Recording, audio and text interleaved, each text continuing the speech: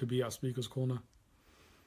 And what really struck me is that he, he had about six or five Muslim men praying there, right? And that's nothing to do with their with their um, allegiance to Islam or their or their uh, conscience to pray. That's just blatant antagonism, right, in the face of the British people. That to say we are here and you can't stop us. That's all that is. It's just them claiming ground, claiming a territory. That's all it is, and it's quite annoying to watch.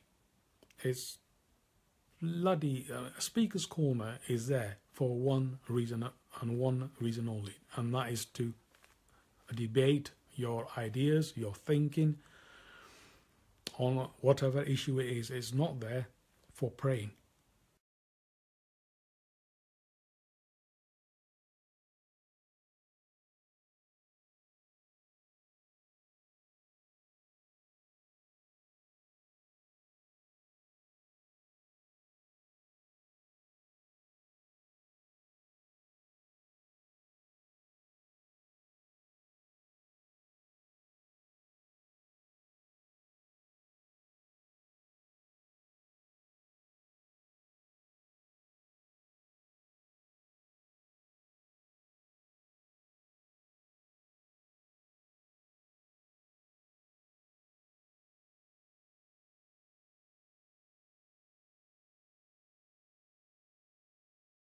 And started to uh, call me a dirty Muslim scum.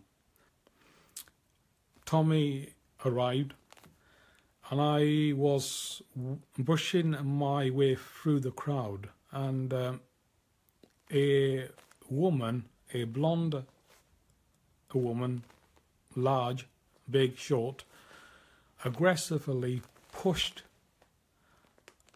beside me, right in front of me, just purposely, intentionally came and brushed aggressively beside me and went to my right.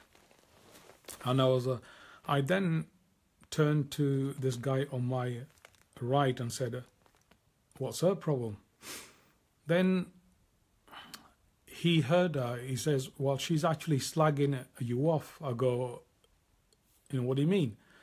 And he says, "Well, she is slagging you off, uh, saying a taqiyya."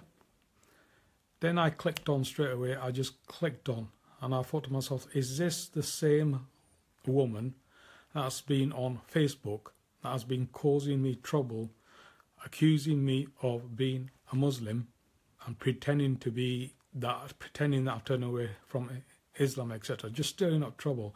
Is this the same person?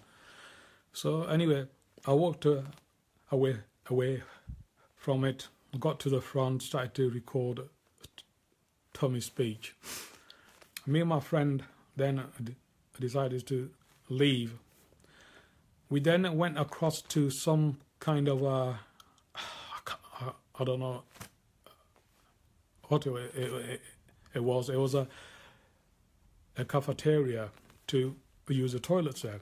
My friend went downstairs to use the toilet, and behold, guess what?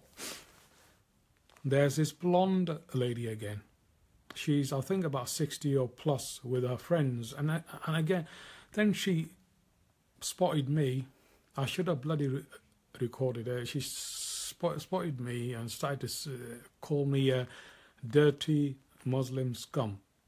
That um, I'm a a double agent or